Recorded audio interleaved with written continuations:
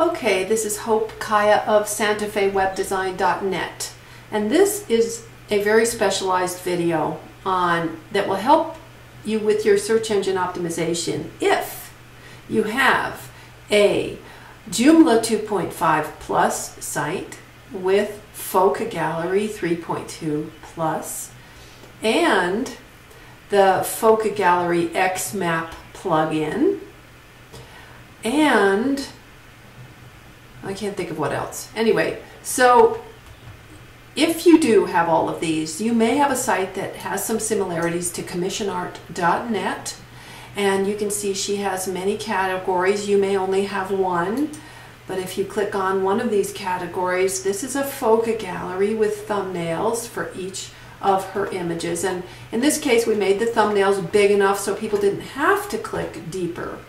But now if you do click deeper, ah, this is the other thing you have to have, is a Phoca Gallery um, function called no pop-up for the display of the detail, which means it doesn't pop up into any kind of fancy display. It stays within the template uh, where you can see and access all the navigation. And I've always done this because it is better for search engines. But things got just got much better for search engines with this new plugin I'm about to talk to you about. So if you have a Joomla 2.5 plus site with uh, Phoca Gallery 3.2 plus and um, the Phoca Gallery extension for XMap, I'm going to show you here in another tab. Uh, this is that extension and you can see it's for 2. Point, Joomla 2.5 only or later and it's free. And um, that means that all these pieces now can be um, listed in your sitemap. So I have a sitemap link at the bottom of the site and I'm going to click on it. As of yet, very few of these pieces have names beyond what I named them as I built the site using keywords uh, for each one and numbers, which is good. But if you can name them each um, individually, like heart designed door decoration. Let's click on that. Sorry, I've got, I'm going about to update this template so we don't have that drop down issue. Okay, so you can see there's this heart shaped item. It doesn't have an, we're not seeing a title and a description because I haven't enabled that yet. But once I do, you will see the title underneath and the description under that. And um, so that's what we want. You want each of your images in Phoca Gallery to have a title and a description. And and once you do, and you have this plugin installed, all of a sudden all this information is available to Google because this particular plugin um, works with XMap, and that's another thing you need, is you need your sitemap to be entered in the Google Webmaster Tools um, so that every time something's added to the sitemap, Google gets pinged. Now, if you have all this, really you didn't even have to watch this video up until this point.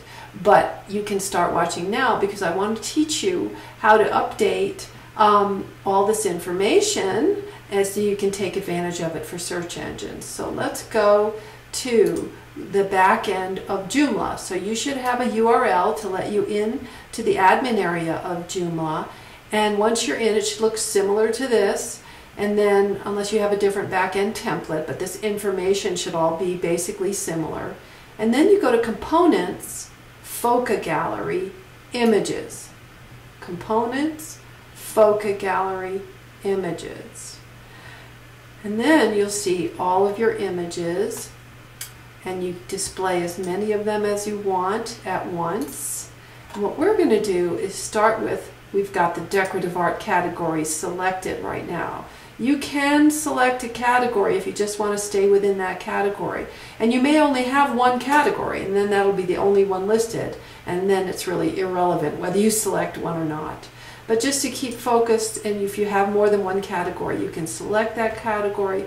And then one by one, you can start clicking on individual image links here to open up the individual image detail uh, information. So what I do is, it first thing, I'm going to put a title in here, and I'm just making things up right now, but this looks reminds me of a nebula, and I don't even know if this is spelled properly, but I put nebula um, decorative art piece, and I put decorative art piece thinking that that might be something people are searching for. So you kind of want to have that in the back of your mind all the time. Um, and then I'm going to scroll down and ignore everything here. And then I'm going to start putting text in here. This decorative, I'm making things up.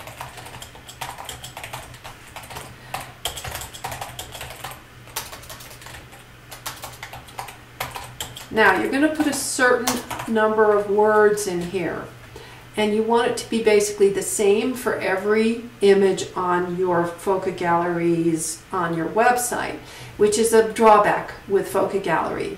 But you, they only let you set the size of, of space available for text. So you want basically the same amount of text for every image so that you don't end up with a big gap, nor do you run over the space given.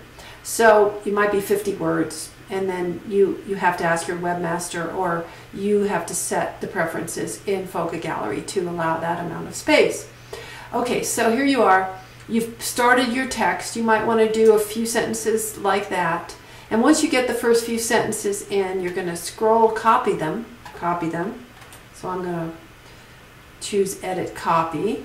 And then I'm going to go up here to where it says Meta Description and Meta Options, Metadata Options, and open up to meta description and just paste those maybe first two sentences, say. This you can put, you know, what I often do is whatever keywords are in my title, I might put in here. Um, this is something that you won't see on the website. Some search engines see it, Google does not. Um, this, all search engines see as far as I know, and it's important because if somebody does a search for, say, decorative art piece, and this particular piece shows up, which would be a miracle, um, then as opposed to, say, nebula decorative art piece, this will definitely show up, but there are probably millions of decorative art pieces on the web, so we're, you know, we're climbing a hill here. But so if somebody does a search and this image shows up, this is the text that will show up under the link. And so you want it to be something that makes people want to click on it. Okay, all right. So now you've got some text here. You may do a few sentences like this, and I'm not gonna, I just did a few in a row. I'll do it again. So you've got a little paragraph maybe that size. You don't need much, but you do want to be thinking keywords. So this has the word decorative art piece. And then you might have one last sentence that says, see all our decorative art pieces today. And you, you definitely, um, you definitely would not have decorative art, decorative art, decorative art, decorative art. You don't want, so I'm going to take this out just so you don't get confused.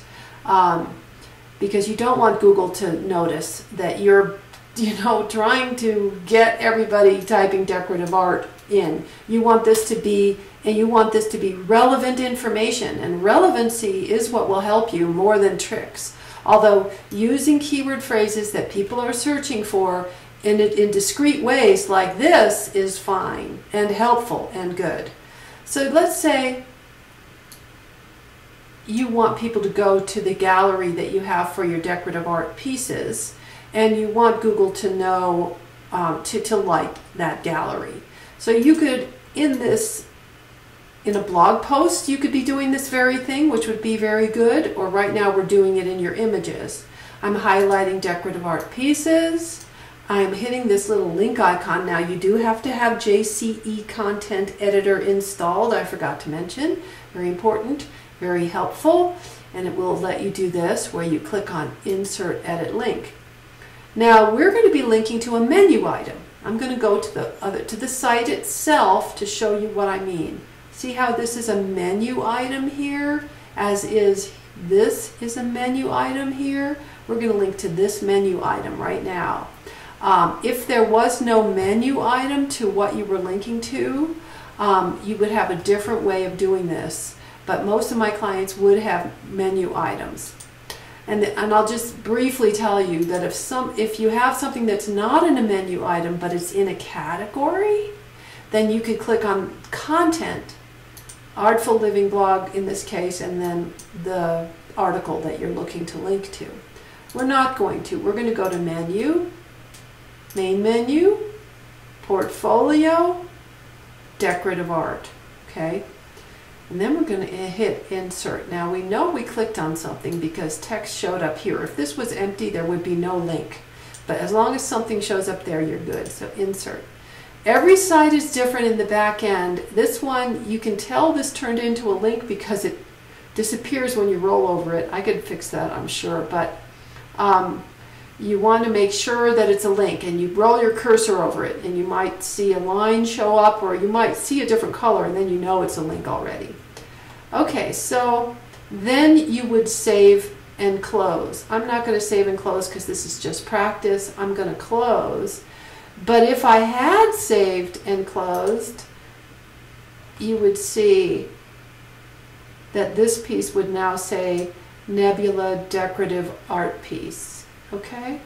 And um, then once you've done that with all of your pieces, you can tell your web designer and she or he can make it so that they're all visible.